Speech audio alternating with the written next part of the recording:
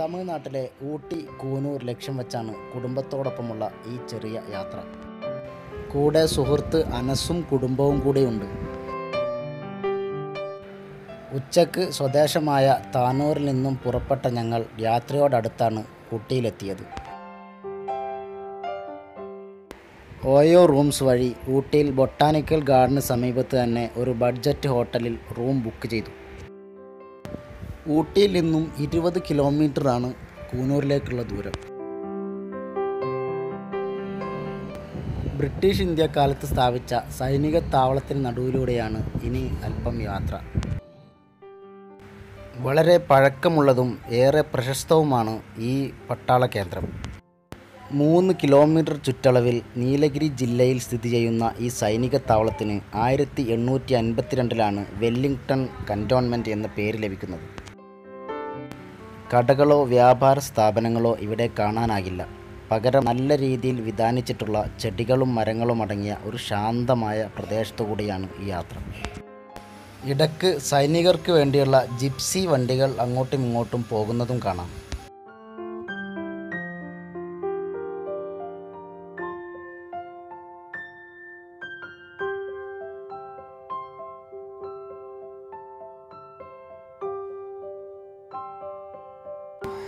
പട്ടാള താവളം കഴിഞ്ഞ് ഞങ്ങൾ ആദ്യം പോയത് അവിടുത്തെ ഏറ്റവും പ്രധാനപ്പെട്ട ടൂറിസം ഡെസ്റ്റിനേഷനായ സിംസ് പാർക്കിലേക്കാണ്. ഊട്ടിയിലെ ബൊട്ടാനിക്കൽ ഗാർഡൻ പോലെ മനോഹരമായ സംവിധാനത്തോട്ടം ബൊട്ടാനിക്കൽ ഗാർഡന് ഭിന്നമായി ഇവിടെ ചെറിയ ഒരു കായലും അവിടെ പെഡൽ ബോട്ടിംഗ് സംവിധാനവുമുണ്ട്.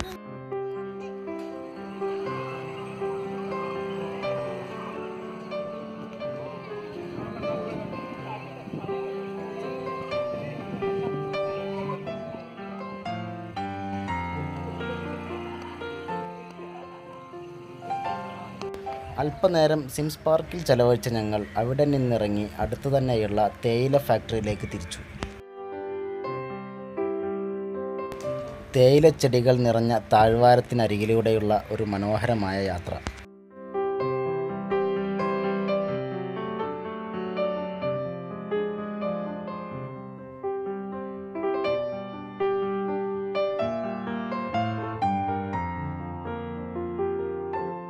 വളരെ മനോഹരമാണ് പച്ച പുതച്ച ഈ തേയിലത്തോട്ടത്തിന്റെ കാഴ്ച.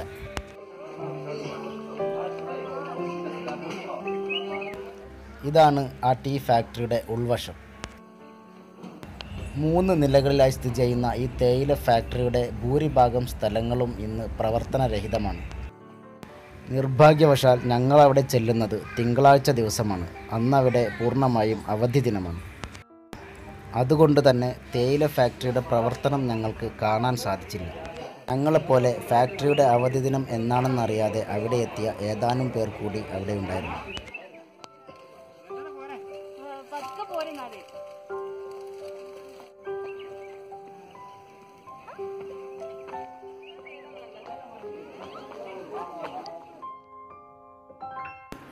ഇനി കൂനൂരിൽ കാണാനുള്ളത് ഡോൾഫിൻ നോസ് വ്യൂ പോയിന്റും കാതറിൻസ് വാട്ടർഫാൾസുമാണ്.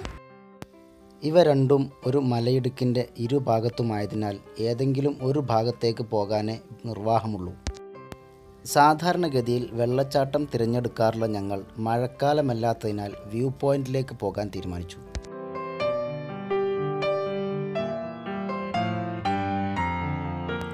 കൂനൂരിൽ ഭൂരിഭാഗം റോഡുകളും തേയിലത്തോട്ടങ്ങൾക്ക് അരികിലൂടെ ആയതിനാൽ യാത്രയ്ക്ക് ഒരു വിരസതയും ഉണ്ടാകില്ല ഇടയ്ക്ക് ആളുകൾ വാഹനങ്ങൾ നിർത്തി തേയില തോട്ടത്തിന്റെ കാഴ്ച പകർത്തുന്നുമുണ്ട്.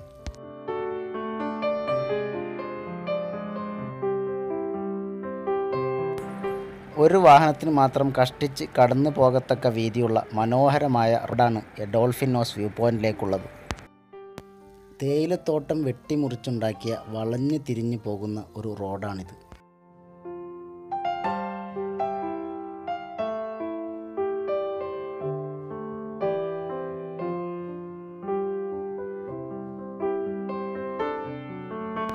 പ്രധാനമായും വ്യൂ പോയിന്റ് മാത്രം ലക്ഷ്യമാക്കിയുള്ള റോഡായതിനാൽ തിരക്ക് നന്നേ കുറവാണ്.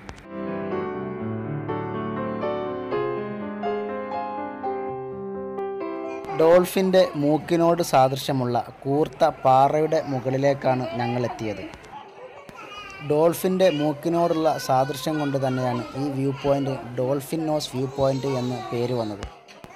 ഈ വ്യൂ പോയിന്റിന് നേരെ മറുവശത്തായാണ് കാതറിൻ വാട്ടർഫാൾസ് ഉള്ളത്. എന്നാൽ ഇവയ്ക്കിടയിലുള്ള കിടങ്ങ് കാരണം ഇരു ഡെസ്റ്റിനേഷനിലേക്ക് എത്തണമെങ്കിലും രണ്ട് വഴികളിലൂടെയായി ഏറെ ദൂരം സഞ്ചരിക്കേണ്ടതുണ്ട്. സമുദ്രനിരപ്പിൽ നിന്നും ആയിരത്തി അഞ്ഞൂറ്റി അൻപത് മീറ്റർ ഉയരെ ഡോൾഫിന്റെ മൂക്കിനറ്റത്തായി ഞങ്ങളുടെ ഈ യാത്ര അവസാനിച്ചു.